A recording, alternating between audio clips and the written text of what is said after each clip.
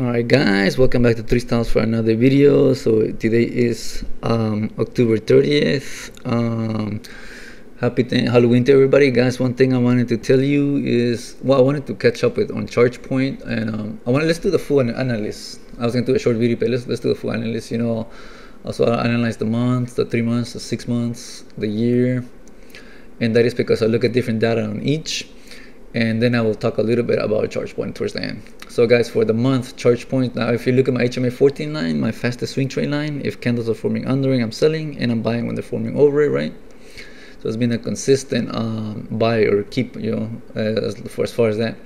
Now I also like to look at the, um, at the, the PSARs, right? The yellow dots over means sell, under means buy, right? And they're consistently about the same distance which is a good thing because if they get closer it's a bad thing and if they get further away which is a really good thing. The consistency is a good thing guys. Well we're gonna look at the volume guys and it's been it's been somewhat dying down but then picking back up with spikes which is kind of it's kind of weird but as long as the spikes are mostly positive which is which will make it a good thing overall and that's what really matters. So guys for the three months now we're gonna look at the MACD right so the MACD has been positive since here, since across about two weeks ago.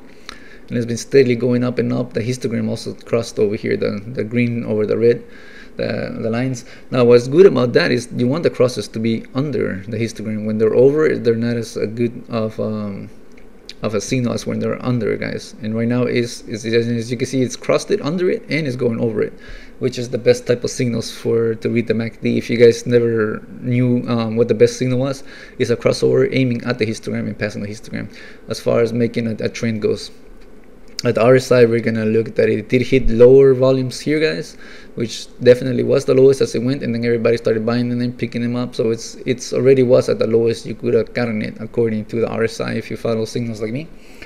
One thing about that it is on the overbought um, territory right now. But if you look at Tesla let me look at Tesla really quick. I know I have it somewhere if you look at Tesla, it went way over its overbought over here, and it didn't care. It kept going, guys. And Daddy Texas, Tesla is moving everything right now.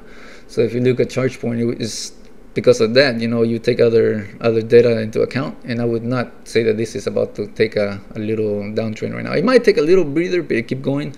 And that's because of Tesla and all the government also about to vote on a bill that could help it out. All um, electric vehicles and companies related to electric vehicles so this is also looking good as far as the MACD. And uh, I, not the RSI but I would say I would ignore it right now with everything going on. On the six months guys I like to look at the SMA 21 which is a pretty much standard trade trade line for people right? So if it's over you buy if it's under you take profit or you sell. And over here it has finally scooping up right here finally scooping up which is what you want. It did kind of cross it here but it's you want what you want is a scoop up like I always tell you guys which is what's about what's happening right here it's also about to cross over the SMA 50 the purple line right which is a really a double double incentive to buy it because if not only is it over the SMA 21 but when it crosses over the SMA 50 which is also a buy signal and they cross together which is about to this is an even longer buy trend signal which is what's about to happen in the next couple of days eh, as long as it crosses guys in the year I like to look at SMA 50, right? So this is definitively the healthy unhealthy line for most people of, of our stock.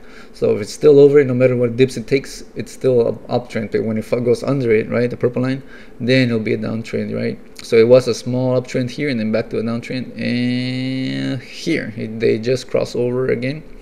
And i'm telling you that with the sma 21 about to cross it over it's a double positive signal there. And then it also has all the other signals like like MACDs, the PSAR, my HMA 14 going up.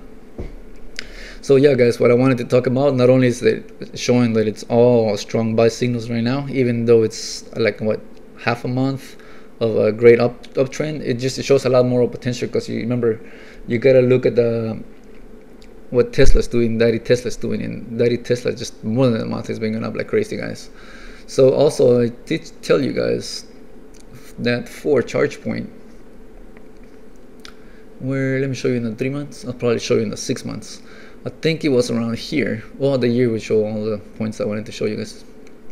So for the year I think the last video I made was around here and I told you it's even though it's been downtrending it's probably a good time to buy around here because um, if you look at support and resistances right there's a good support around here around this price right around 20 something. And that's why when i made the video I told you it was no matter what it'll be a good time to buy here because it's for this company for being what it is for the e feature of evs at, at this point around the $20 guys i mean it is a steal no matter what. So if you've been holding or if you buy it at this time no matter what it was good right? Of course it did dip a couple four days but then it went back up but it still stands true guys. No matter what even right now at uh, what's the price? 24.70 it's still a great buy, buy guys. In the future who knows what this could be? You know this could be up super massively in five years guys. This could be like netflix up 5000 percent in its first five years. You know what i mean? This could be something like that because if not at least the next seven or eight years guys because um, evs is the future. So that's what i wanted to talk about. Um, as an investor if you're a long-term um, holder this is still a great buy. Even though it's been uptrending it's still a great buy right now. As a swing trader it's also a great buy right now because all the signals show buy guys. So yeah um, let me know what you think about this type of videos. Uh, should i do anything different? This was kind of uh, random second video the first time i do two videos in a day let me know what you think. Subscribe leave a comment. Peace